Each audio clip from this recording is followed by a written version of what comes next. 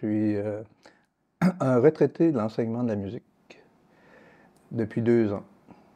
Donc, c'est comme si j'avais deux vies. Avant, je m'investissais dans mon travail et dans ma famille. Puis depuis deux ans, je m'investis davantage dans les groupes environnementaux que je suis depuis 10-15 ans. Qu'est-ce que signifie pour moi la décroissance? Eh bien, euh, dans ma vie personnelle, je dirais que j'ai, c'est venu, disons, euh, progressivement. Parce que ce qui m'a intéressé d'abord, c'est pas la décroissance, c'est pas quelque chose dont on parlait avant, c'est arrivé plus progressivement. C'est-à-dire, euh, c'est plus un zéro déchet qui m'a attiré au début.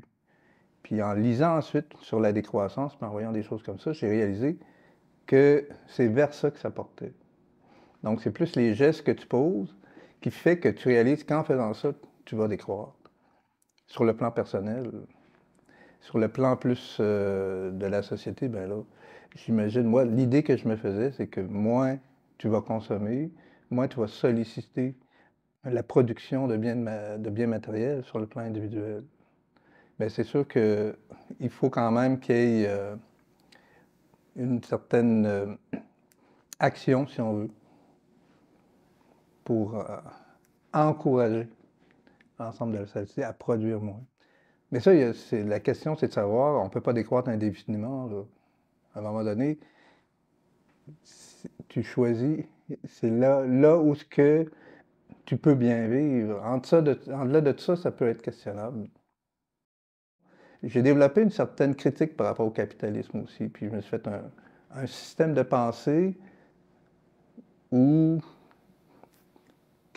quelle sorte de type de... Là, je réfléchissais à ma consommation. Quelle sorte de type de consommation tu peux faire pour euh, agir sur ça, tu sais, comme acheter écologique, biologique, euh, euh, vegan, zéro déchet, équitable, etc. je me disais, si j'appliquais tous ces principes-là, ben, j'aurais un impact sur ce système-là parce qu'il fonctionne à l'inverse de ça. Donc, la décroissance aussi, parce que c'est ça l'idée, c'est qu'on vit dans une société qui dont le principe même de production, c'est de croître. Donc, l'idée de décroissance, c'est une réaction à ça.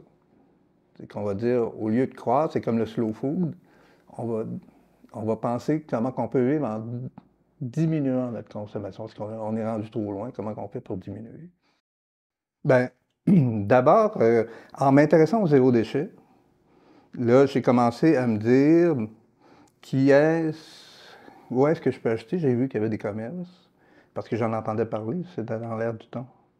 Même si j'étais à Sainte-Marie, j'allais à la récolte, qui avait ouvert au même moment où ce que je me disais, il euh, faudrait peut-être que j'achète zéro déchet. Mais je ne pensais pas à la décroissance à ce moment-là, quoique en, partie. L'idée, c'était de produire, de produire plus par moi-même, comme faire mon pain, des choses comme ça. Puisqu'en achetant en vrac, tu te retrouves à avoir des aliments de base à partir desquels là, tu, peux cuisiner? J'ai commencé à cuisiner davantage que ce que je faisais avant? Parce que justement, euh, c'était plus euh, l'idée d'un mode de vie. Pour moi qu'une action directe. C'est-à-dire que c'est sur moi que je, je, voulais avoir un impact. Mais sur ma vie à moi. Et donc, c'est sur le plan personnel. Que, ça s'exprimait. J'ai toujours préféré avoir une certaine marge de manœuvre dans ma vie. C'est la raison pour laquelle je consommais peu. Parce que je me disais, euh, si je suis lié par rapport à un achat de maison ou quoi que ce soit, là, je suis obligé de faire des choix en fonction de ça. Comme je voulais être libre de faire des choix relativement à ma vie, je consommais peu, j'avais peu de besoins. Puis là, que j'ai pris ma retraite rapidement parce que c'est le choix que j'ai fait.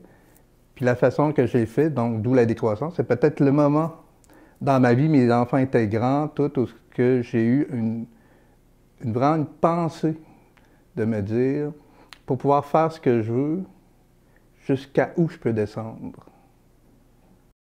Ben, d'abord, je restais à Sainte-Marie. C'était pas, pas, évident. Il fallait que je roule. J'étais en contradiction. Je, prenais du gaz pour aller acheter des affaires zéro déchet. C'était pas évident, ça. Donc, j'en profitais quand j'allais chercher mon gars. Je veux dire, euh, moi, je le faisais, mais sûr, j'avais des contraintes. J'achetais le char le moins cher puis le moins polluant.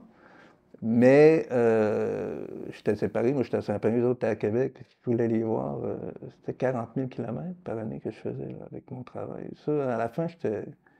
Ça, ça me travaillait. C'est une des raisons que pourquoi j'ai pris ma retraite en avance, à part le fait que j'étais vraiment fatigué de cette vie-là, là, parce que c'était pas facile. C'était épuisant. le- le- probablement le nombre de kilométrages que je faisais aussi, ça me faisait une vie euh, pas facile. À la fin, je m'endormais en auto, je dis, je vais arrêter avant de me tuer. J'ai suivi des cours pour faire mes propres. euh, ma fermentation ou ces choses-là. là. Puis ça, je trouve ça un peu compliqué. Je préfère acheter directement du producteur. là. Le local est important pour moi. Ça, c'est encore un lien, indirect avec la décroissance. J'achète local parce que je veux connaître le producteur.